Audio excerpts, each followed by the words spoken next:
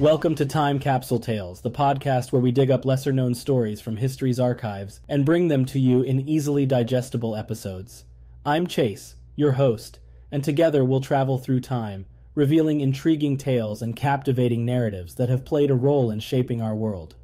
Today, we'll journey back to the dark days of World War I, so sit back, get comfortable, and join us as we dive into yet another enthralling account from the pages of history. Amidst the chaos and cries of battle in World War I, a group of valiant men emerged, defying the odds and shattering barriers. They were the Harlem Hellfighters, the 369th Infantry Regiment, an all black unit whose story is a tapestry of determination, bravery, and resilience.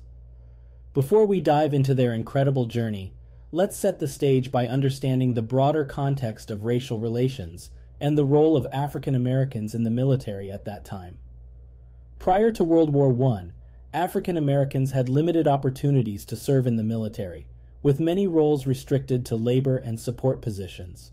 Additionally, racial segregation and discrimination were widespread in the United States, both in civilian life and the military. The Harlem Hellfighters story is set against this backdrop, making their accomplishments even more remarkable and demonstrating their resilience in the face of adversity. Hailing from the vibrant streets of Harlem, New York City, these African American soldiers faced racism and discrimination. But despite the obstacles, they stood tall, proud, and ready to serve their country with unwavering resolve. Having endured the racism running rampant through the country, the Hellfighters were still determined to serve their country with unwavering resolve. Let's follow them as they embark on their journey to France, where they headed to fight on the blood soaked battlefields. They crossed the vast Atlantic, and once they arrived, they made history as the first African American regiment to fight alongside American forces overseas.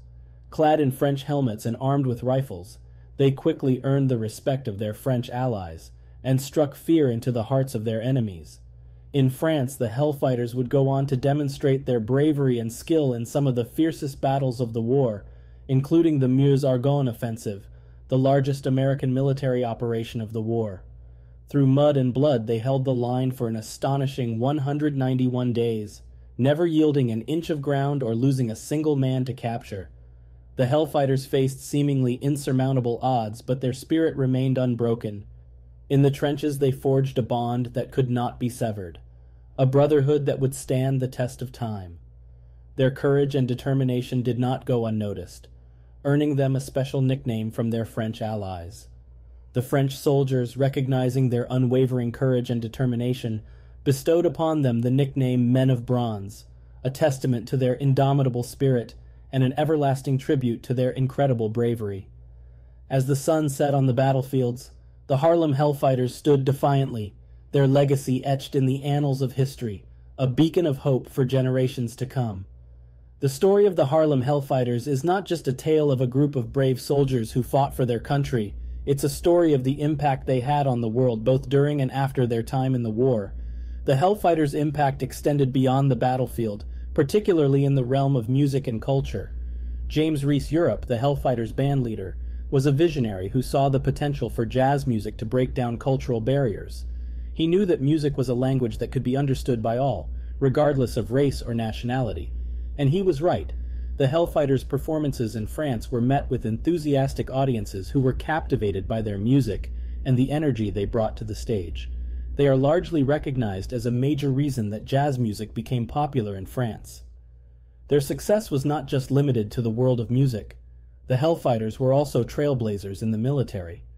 They were among the first African American soldiers to be allowed to fight in combat alongside their white counterparts, and they proved their worth on the battlefield earning the respect and admiration of their fellow soldiers. However, despite their successes and sacrifices, the Hellfighters faced new challenges upon their return to the United States. Despite their bravery and sacrifice, they were still met with discrimination and prejudice in their own country.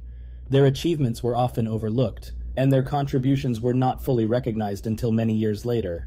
One particularly egregious example of racism faced by the Hellfighters upon their return from World War I occurred during a tour of the Northeast and Midwest with the Hellfighter Band. James Reese Europe, the band's leader, was stabbed to death by the band's own drummer after a concert in Boston. Despite Europe's contributions to the war effort and his success in leading the band, he was still the victim of a racist attack upon his return home. Noble Sissle, a fellow band member, continued to carry on the band's legacy as a songwriter and vocalist, co-writing the musical Shuffle Along with Eubie Blake in 1921. Despite the success of the Hellfighter Band and its members, their experiences demonstrate the deep-seated racism and prejudice that existed in American society during this time period. Yet their legacy lives on, their story serves as a symbol of the incredible contributions of African American soldiers, not just in the military, but in all aspects of American society. The Harlem Hellfighters were pioneers of culture, warriors for their country, and advocates for equality. Their story is one of bravery, sacrifice, and resilience, and it will continue to inspire generations of Americans to come. As we conclude our exploration of the Harlem Hellfighters' incredible story, let's remember that their fight for equality, their sacrifices, and their cultural impact are still relevant today. To honor their legacy and learn more about their contributions, we encourage you to dive deeper into their history. By delving into their stories, we not only honor the Harlem Hellfighters and the many others like them, but also continue their legacy of striving for a fairer society. Let us remain vigilant to not repeat the mistakes of our ancestors. As we close this episode of Time Capsule Tales, I'm your host, Chase reminding you that history is filled with incredible stories just waiting to be discovered. We hope you've enjoyed learning about the Harlem Hellfighters, and that it's inspired you to continue exploring the lesser known tales of our past. If you've enjoyed this episode, please take a moment to subscribe or leave us a rating. Your support helps us continue to bring you fascinating stories from the annals of history in a bite sized format.